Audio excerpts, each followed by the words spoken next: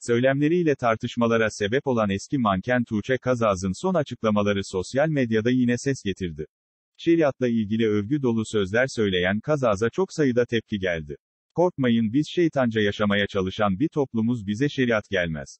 İfadelerini kullanan Kazaz şeriatın ancak temiz toplumlara gelebileceğini, bir dönem adından çokça söz ettiren eski manken Tuğçe Kazaz bu kez de şeriat için kullandığı övgü dolu sözlerle tepki çekti. Çok sayıda sosyal medya kullanıcısı, şeriatı öven Kazaz'ı eleştirdi. Kazaz ne dedi? Kendi sosyal medya hesabından paylaşımda bulunan Kazaz, şeriat temiz toplumlara gelir. Şeriat, Allah'ın merhamet ve rahmeti, H.Z. Muhammed'in ahlakı, H.Z. Ömer'in adaleti, H.Z.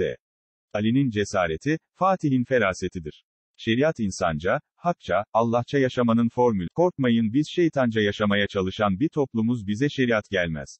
İfadeleri, ardından bir açıklama daha yapan Kazaz paylaşımına, geçenlerde katıldığım Kırmızı Masa programında şeriatla ilgi fikirlerimi söylemiştim.